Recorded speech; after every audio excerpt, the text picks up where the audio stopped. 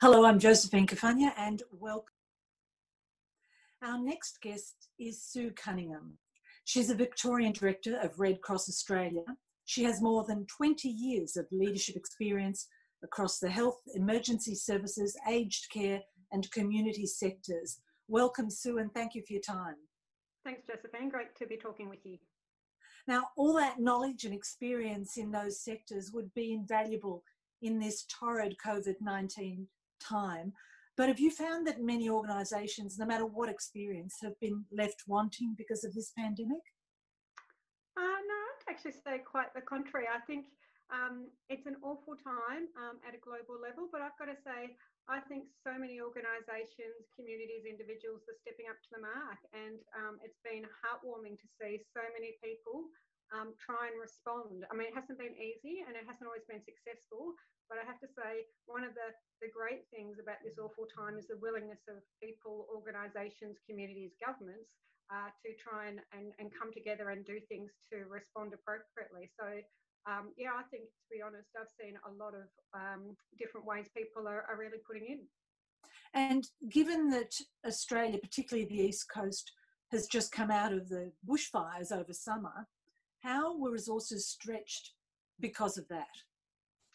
Look, there's no doubt it has been a really horrid uh, 2020, particularly um, for Australia and all of those um, uh, communities and the terrible devastation they suffered. I have to say, um, being part of the emergency services support network in Australia, um, it was uh, obvious that the, the, bushfires have um, impacted not just into the communities, of course, first and foremost, uh, but of course into all the networks and supports uh, services that, that help those communities. And I think um, it's clearly um, at one level uh, fantastic that uh, the uh, sector was re, you know fully operational and active at the time it happened but of course it's put an extra strain uh, on an already strained system but uh, I think as a community we're going to need to get uh, used to having multiple and sustained emergencies of increasing duration and severity so I think at the end of the day we, like others in the sector, are learning about fatigue management, operational sustainability, uh, and ultimately, again, lots of opportunity to learn and practice about how we can uh, become better at being able to respond to you know multiple needs in multiple locations. And in, when you say become better, in particular, what are you referring to? I guess I'm just very mindful um, of our changing climate, which I think um, has been recognised around the, the world um, as one of the sort of uh, challenges that humanity needs to face. Uh, and I think the reality is, uh, be it fire, be it flood, be it pandemic, uh, we are going to see um, increasing challenges like this. And I think um, we're going to all have to learn to have the flexibility and agility to respond to that, but also manage our personal energy, our organisational energy, and our community energy uh, to sustain and respond to these events. So, how do you do that? How do you manage uh, that that community and volunteer operation? Yeah, well, that it is a tough one, and I don't uh, for a minute profess to have all the answers, but I think we're certainly learning as we go. Um, there's there's a few things we can all do. I mean, it always starts with self. Um, so um, all of us individually, we're all being personally tested um, at the moment through COVID. Those of us who are fortunate enough not to be tested by the bushfires, um, and managing your personal energy, your personal well-being um, is always the place to start. Start with yourself before you help others. Uh, but in doing that, in managing your own energy, your own sustainability, looking after yourself, you also have the energy to help to look after others. And uh, you know, being that person to flag, uh, certainly within uh, Australian Red Cross, we had a lot of fatigue coming out of um, uh, our response mm. to the bushfires, but it wasn't just self identifying that you needed help, it was actually looking after our peers, our colleagues, the broader Red Cross family, uh, identifying when people looked tired, needed a break, needed support, and that reaching out um, and supporting other people and, and helping them help themselves uh, if they may not be in a position for whatever reason to sort of identify where they're at. So I think if we were work at that at person at, at, that personal level at that individual level of helping ourselves and then others in our network actually that can actually work at a global level as well. So can you recount to us when you first realized oh this is big this is coming our way and what you did immediately and then what role the red cross has had during this pandemic? Yeah so in terms of the pandemic um, i think the reality was it was in early March uh, when it was starting to amplify around the world that we knew um, that we were, were facing something very serious here in Australia. Um, I think as an organisation, uh, because we had stood up, because we had been operating um, at scale uh, in a complex way, we were able to pivot very quickly. Um, and we'd already broken down some barriers, I think, in terms of uh, traditional thinking. We, would we'd had to, to, to, work at scale already, we'd had to work in a sustained way already. So, actually, from that perspective, the uh, oh gosh, we need to look this way now, not that way. And in fact, one of our challenges was remembering that we did have um, to continue our support for those impacted by the bushfires. Uh, so it was around how do we continue to sustain our support in that space whilst pivoting the organisation and starting to look at what responses uh, we can provide into the community. And of course, we had to pivot ourselves as well. So it was, uh, you know, taking that ability to, to look in multiple directions at once. How do we support the bushfire affected communities? How do we pivot ourselves to respond uh, to the challenges of COVID? What does that mean? Which programs and services do we have to suspend or alter? And then also, what's the humanitarian and emergency response we need to provide into the community? Uh, and like everyone else, we had to uh, work through um, some of the challenges about working out what does this mean and, and what support do we need to provide. Um, in Victoria, we're part of the emergency services sector and, and one of our uh, standing roles is to help coordinate the food and water. Um, so in, in, emergency relief situations and of course in those early days of COVID as people were grabbing um, toilet paper and other staples off the shelves, uh, the availability of food uh, and water became a fairly pressing concern and uh, certainly we went um, from uh, having done a lot of food and water distribution in Victoria uh, into isolated communities to having to stand up again in partnership with Foodbank and um, other uh, partners behind the scene um, a fairly rapid ability to mobilise um, quarantine packs and provide people with, sorry, not quarantine packs, but self isolation packs and, and 14 days of food and water. Super difficult to do, and we had to do it across Victoria um, at high demand and short notice. And uh, that certainly put our team under pressure and working in partnership with lots of others. Um, we were able to do that. But, you know, the reality of um, this is important, people are self isolating, and of course, a very fundamental human need of food and water um, and the mm-hmm. anxiety that causes people uh, if that's not something that's immediately available to them, and, and, particularly the more vulnerable in our community, who, of course, um, are, are not well positioned uh, to be able to um, help themselves sometimes in these sort of situations. So I think having to stand up that food and water distribution system um, at short notice and in such a comprehensive manner was um, probably one of the sort of biggest changes we had to make in those early days to respond to the need as it was emerging. How many of those packs did you supply? Uh, I think we supplied well over a thousand um, of those packs. Um, in, in uh, I remember one early weekend, uh, we are working with our partners, including Australia Post and Victoria Freight Services, to do the distribution of those food packs.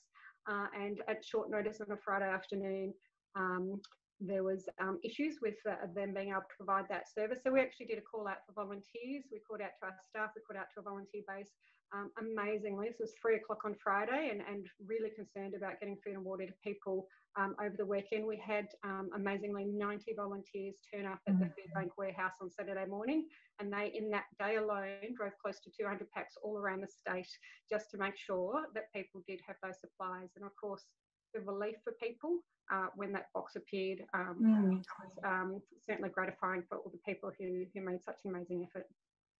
Well, let's turn to the role of the volunteer. Has there been a shortage, or as you've just indicated, all you have to do is put out the call and more people do put their hand up? Look, I think to be honest, we've been overwhelmed both in the bushfires and in COVID with how, how generous people are. Um, and we've certainly been in a lucky position as an organisation that we've um, had lots of people express interest in volunteering. Um, absolutely, there have been a number of our volunteers who have not been able to continue to volunteer, which of course is often um, uh, a big disappointment to themselves. But uh, one of our programs, for example, our patient transport service, where we drive uh, people around the state for medical appointments.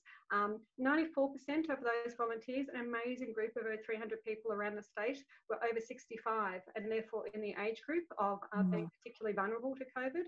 Uh, so we did actually have to take um, a difficult decision from my perspective to uh, stand those volunteers down um, in those early days because we were very concerned about the exposure and whether we could provide a safe environment for them, uh, particularly as they're connecting into the health sector. Um, and uh, we um, we put out the call for other volunteers to get people who are less vulnerable. And it was fantastic to work with Volunteering Victoria and a whole lot of other volunteering organisations to source a new volunteer workforce over a period of a week or two and uh, to stand up 17 new volunteers. So in some instances, we've had uh, volunteers that have needed to stand aside, but on the other end of the spectrum, we've absolutely had um, organisations, individuals reach out to us and, and want to help. Um, so uh, on, on, balance, uh, we've certainly been lucky enough to be able to connect with people when, when we've needed to. And have you, have you found that there's been a change in that attitude, particularly this year, given the bushfires and then the pandemic, that first of all, the attitude toward volunteers, because quite often volunteers feel uh, undervalued, but also the fact that more want to. I mean, what, what, what differences have you noticed this year?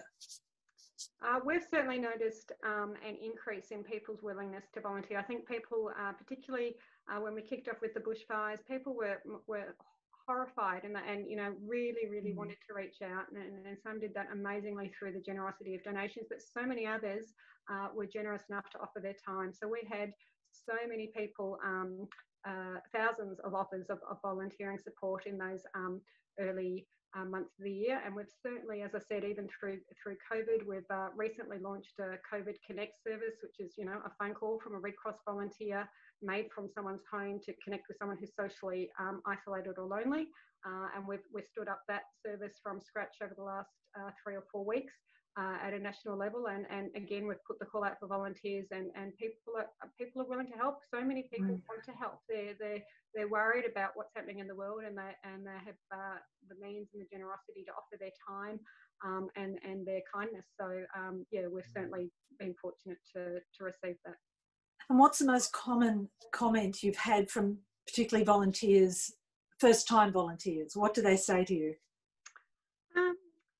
Most of them are beautiful. Uh, I think we're like any organisation in that um, we can't always uh, offer um, a fantastic volunteering experience. Sometimes when we onboard people, uh, there's a gap between onboarding them and, and getting them involved. Uh, but on, on, the main, um, we've had some beautiful um, expressions of people just being so happy they can help, really, really appreciative they can contribute. Uh, we recently uh, stood up a pool of volunteers to help um, start thinking about our changing climate and how to address that. And we've been overwhelmed again. This was pre Christmas actually, and we mm. had 136 people apply in under two weeks uh, to just be part of a, a, pool that we were creating. And uh, uh, people of all sorts of skills and experience are offering really amazing um, backgrounds. Um, and they're just rapt. You know, one one recent comment was around, "I can't believe I get to do my masters and help design programs for the Red Cross." So you know, they're just rapt to be involved. They appreciate the opportunity. Uh, everyone doesn't matter what their background is, whether they're completing a masters, whether they're um, you know 17 and living alone. Everyone brings their life experiences to the volunteering mm. experience, and and most of the time, it's really that um, gratitude and appreciation uh, to be able to help others um, and of course also share and connect. Volunteers often love um, the sense of community that comes from uh, you know being part of a, a broader group and a broader, broader cause. And do you think there's a greater sense of social conscience as a result of these crises? Um, I don't know if it's a greater sense, perhaps, or perhaps it's just that our environment is pulling out um, or, or, tapping into that. Um, there's certainly been some discussion in, in, recent years about perhaps young people aren't as interested in volunteering these days. But uh, when we did a survey in 2018 about are young people interested in volunteering, the resounding answer was yes. They needed the mode and method of volunteering to change. They wanted to get involved in short term projects, um, projects that had social impact that could develop their skills. Um, so I think the need has always been there, but I think what we're seeing at the moment um, is an environment uh, where, for a whole variety of different circumstances, people, um, you know, the reality is with COVID Connect, some people have more time on their hands than they've had in the past, others less so. Mm. Uh, but I, I, think, to be honest, um, uh, and we've done kindness surveys uh, year in year out that shows that people want to be kind and they want to connect and they they, they appreciate acts of kindness. I think um, unfortunately 2020 has brought out um, a lot of opportunity um, to draw into mm. that social um, connection and that willingness um, or that interest to be kind. And what aspect, we've seen a lot of change happening, people doing things differently and being forced to do things differently. For example, this interview that we're doing. But what aspects new aspects of, of operating have emerged during this pandemic that you'd like to see permanently adopted? Well, I think, um, and I'm sure this is a, a, comment that many would make, we've all experienced the flexibility of um, essentially working from home and working in different contexts. Um, and whilst that brings an awful lot of challenges, I think it has shown us that things can be done in different ways and, and with more flexibility. Um, so I think um, generally speaking, there has been a willingness to try new things um, and to not get caught up in traditional um, worries or silos or bureaucracies. And I, I, think that attitude, that that flexible attitude, uh, would be fantastic if we could preserve that moving forward. So uh, often when people try new things, and I think it's hard, even oh, can I do an interview from a, my home? You know, yeah. they do it, and then they find they can do it, and it gives them confidence. So I think it's not just that ability to be more flexible now, but that mindset that goes with it uh, to try new things, to find out that it's okay and that different things can be tackled in a different way. And uh, imagine the power of that. Imagine if we could, as a community, harness that willingness to try new things and, and get that to um, continue beyond COVID. Imagine um, the amazing things that we could all collectively achieve. Mm. And how have volunteers coped with being able to keep in touch with those people suffering loneliness, particularly the elderly who are being forced to isolate much more than, than the general uh, younger community. How are you doing things differently? How are you keeping in touch with those isolated people while keeping volunteers safe at the same time? Yeah, so a couple of things there. Obviously, for our own volunteers, we've had to, um, in a couple of cases, um, as I mentioned before, stand them down or, or they're, they're, unable to continue with the work mm. we've done. So uh, we sort of use the Red Cross family to continue to connect with them. So uh, next week, of course, National uh, this week volunteering week is all around looking about how can we celebrate and connect with volunteers. And so it is about making phone calls out, and we'll be making phone calls out to, to everyone to try and connect with them and, and, and say hello. So uh, we do that. Anyway. Phone call's quite not the same, is it though? No, the phone call is not the same as knocking a knock on the door and no. you know checking on someone. But it's it's limited to that, and also the elderly don't don't have a lot of them don't know how to use an iPad or, or a you know a laptop. So again, that not being able to see someone, look someone, and have a conversation face to face. Yeah, absolutely. But if nothing else, um, uh, we're using this opportunity to try and include um, that digital connection. And, and there's no doubt the digital divide is perhaps growing at this point through COVID. More and more people are connecting online, but the ones that can't are becoming more and more excluded.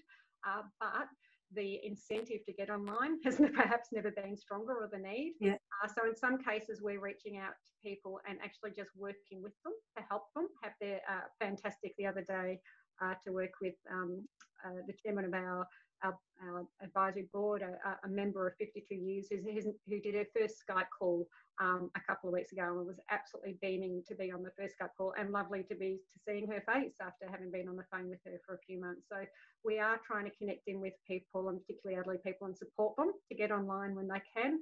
Uh, but the reality is uh, we can't always do that. And I think um, that's yeah, we have to work within the constraints of, of how we're all operating at the hmm. moment. Could it could it be that post COVID, uh, a lot of the elderly uh, in the community are given training lessons for you know or, or iPads to help them, but also help your organisation uh, keep in touch?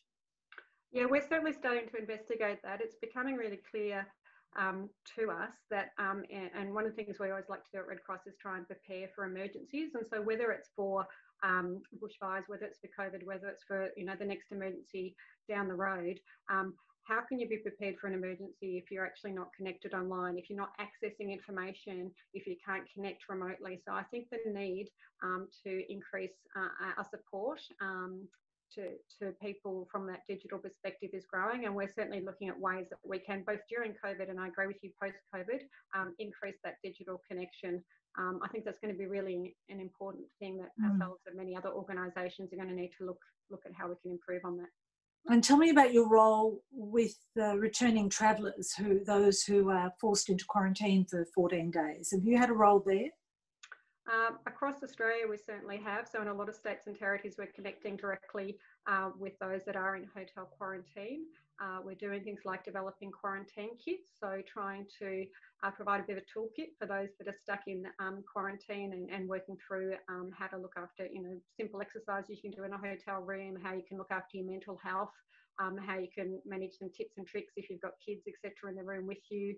Um, here in Victoria, we're um, sitting behind the um, government Victoria COVID hotline, and for people who call that, um, there's all sorts of um, uh, services available to people uh, through that line, but it includes ourselves and the Victorian Council of Churches providing some psychosocial first aid. Uh, so we're certainly available at the end of a, a, phone line as well to connect with people who, um, who, are looking to have a bit of a chat mm. to support their well-being. Now, we've talked about attitudes to, to volunteers. What about community attitudes toward their neighbours? You, you know, that, that looking out for people. Do you see that's changed this year in particular? Oh, absolutely. We've heard lots of beautiful stories at work, uh, just from people sharing what's happening in their own neighbourhood and, and neighbours meeting for the first time, uh, little notes appearing in letterboxes. Um, some of our members are actively out and about supporting others in the community who may not be able to get out for shopping or things like that. So uh, I think lots of people have heard stories um, about neighbours connecting with neighbours. And, and one of the amazing things about that, of course, is once you've met and connected with your neighbour, then um, hopefully that relationship continues post COVID. Mm. Uh, mm. So, absolutely. Now, back to the issue of, of, of, volunteers. In given that the call for volunteers, as you say, is probably going to increase in future, do you think that some sort of remuneration, perhaps small, but should be considered? And would that attract more, or would that at least make the volunteer feel more appreciated, feel that that their efforts are being appreciated. What's your view on that? Well, certainly the research we've done certainly suggests that that's not a form of appreciation that they value. Um, people tend to volunteer often for altruistic purposes because they generally want to help others or because of things uh, such as having better social connections. So often um, for a whole variety of different reasons, but it's, you know, usually obviously, of course, not for sort of reward. And uh, we try and show our appreciation for volunteers in a whole range of different ways. Um, last Friday was actually uh, World Red Cross Day, um, and we have a range of Red Cross awards, for example, which is one of the way we try and show our appreciation um, of some of our many amazing volunteers. So um, in our experience and, and when we ask our volunteers about about that a they tend not to want appreciation. A lot of them are incredibly modest given the amazing contributions they make. Uh, and secondly um, you know the best form of appreciation is always that personal um, the, the, thank you the phone call the certificate. Um, you know that uh, it sometimes that public recognition is also really uh, valued. But um, for, for my mind personally uh, I, am not sure that um, remuneration of volunteers is um, something that, yeah, we'd be, we'd be looking at or interested in. And what about the demographic uh, of those volunteers that, that you have? Would you like to see an increase in any particular age group uh, or wanting in an age group? Um, look, I think uh, any organisation should always look to be representative of their community. Mm. Um, and I'd say at this stage we have not achieved that. Uh, we are getting better at it. Uh, 77%, um, around 70%, sorry, of our volunteers are female, but that varies according to the type of volunteering role. So, you know, 64% of our emergency services volunteers are female. So we like to be representative across all facets, whether it's gender, whether it's age, whether it's um, ethnic backgrounds. Um, and I do think we've got more work to do there, but we have been active um, in that space. We're certainly seeing young volunteers being attracted. In fact, our entire Victorian social media team, there's eight or nine really talented and gifted people uh, who do all sorts of amazing things with our Facebook and Instagram page. Uh, a lot of our justice volunteers, interestingly, are under 30. So I think different people, quite rightly, should should volunteer with an organisation that they sort of connect with and believe with, and of course, a cause that you know interests or inspires them. So I think the job of Red Cross and all other volunteering organisations is to make sure we're as inclusive as possible, that we reach out and connect with those groups in the community, and then, of course, uh, and make sure we're accessible. And, and I think we've got more work to do there um, because, you know, Victoria is a very diverse and multicultural mm. society, and I don't think um, we're uh, anywhere near where we need to be in terms of that representative, but we're on the journey to get there. Um, so, so not not um, to answer your question, I want us to be more reflective of society. I think we're well on the way to doing that, uh, but we've got more work to go. And how do you attract more men? I'm quite surprised at that very low figure for, for male representation. Well, actually, that's relatively common um, for uh, women to volunteer um, more than men. So uh, would be representative, I'd imagine, of um, other volunteering organisations. Um, I think there's a variety of causes that contribute to that. Um, sometimes it's essentially the um, partly reflective of the gender imbalance in terms of working environments, and sometimes essentially, you know, mums at homes with kids or um, older women may have the capacity that, that men don't. I think so there is a structural element to it, but I think there's also um, making sure that we provide our volunteering opportunities that again um, interest and engage um, men and are appropriate um, to their interests. You know, emergency services is the area where we probably do have the most um, men connected in as a programmatic approach to volunteering. Um, and you know, again, that might be a little bit reflective of, of the nature of some of the, the, the, experiences people have there. Our patient transport drivers, we have significant um, men involved in that because uh, men quite like to drive cars. I found, or that, or that seems to be what's indicated by our patient transport team. So you know, it's about providing volunteer opportunities that attract uh, people as people and, and their particular interests. But have you ever put out specifically put out the call for male volunteers because perhaps the general population doesn't realise that not enough men volunteer. Uh, look, I'm not sure that we have, so I might have to take that um, that suggestion up, Josephine. Mm. That's a good one. All right, look, I know you're very busy, and we really do appreciate you taking the time to speak with us with your insights. And uh, thank you for your efforts and for your organisation's efforts. So, don't know what we'd do without you. Um, I appreciate it, and good luck for the for the rest of the year. Yeah, fantastic, Josephine. Thank you. It's been great to talk. Cheers.